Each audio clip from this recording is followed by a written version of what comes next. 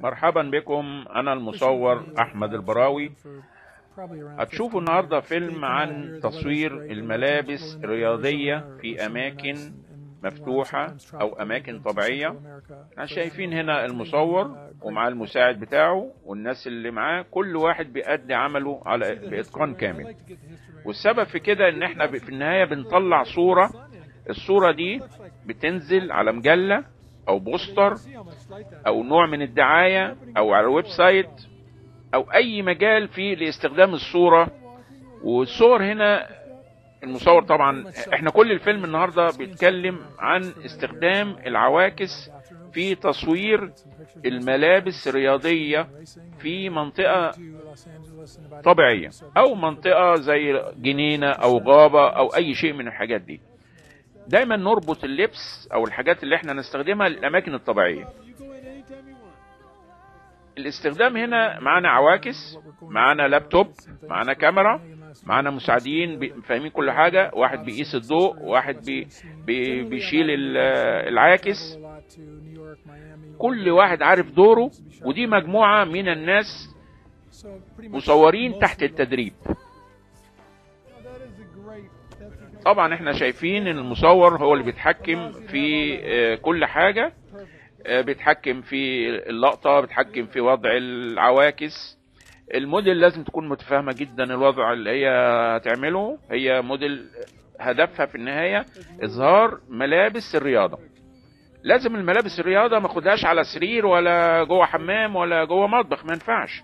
ملابس الرياضية لازم ملابس جري ملابس رياضة. لازم أخدها في أماكنها الطبيعية. ودي برضو لازم الواحد يعرف كل حاجة إن كل شيء لازم يبقى في مكانه الطبيعي. هنا الفيلم كله بيتكلم عن استخدام العواكس.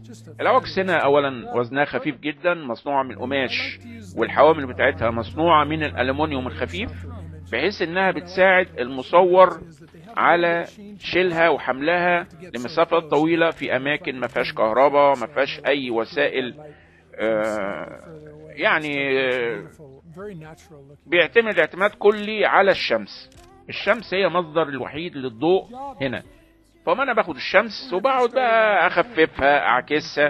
في النهاية بعمل بيها شغل كويس قوي المجموعة التصوير دايما يبقى في عربية مجهزة بأكل بشرب بمكياج بمكان فيه تغيير ملابس. كل الحاجات دي بتساعد جدا على نجاح المصور المتخصص في مجال تصوير الملابس أو تصوير ال fashion والحاجات دي.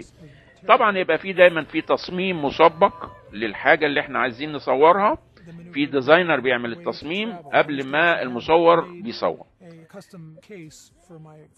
هنا بناخد الخلفية خارج منها الشمس خلالها الشمس والموديل بتقف قدامها كأنها خلفية مضاءة بتعمل شغل حلو جدا. العدسات المستخدمة هنا عدسات زوم طويلة. في الغالب عدساتها فتحات واسعة. العدسات البيضة اللي إحنا شايفينها دي غير العدسات السوداء اللي إحنا بنستخدمها. أي عدسة بيضة كده يبقى فتحات عدساتها واسعة ودي من النوع الغالي جدا. هنا بناخد الشطات على عدة لقطات. بناخد مثلا كل 100 لقطة بنختار ثلاثة دي النسبة العالمية في اختيار الصورة المناسبة. بصور كتير جدا كمية صور كتيرة قوي وشكرا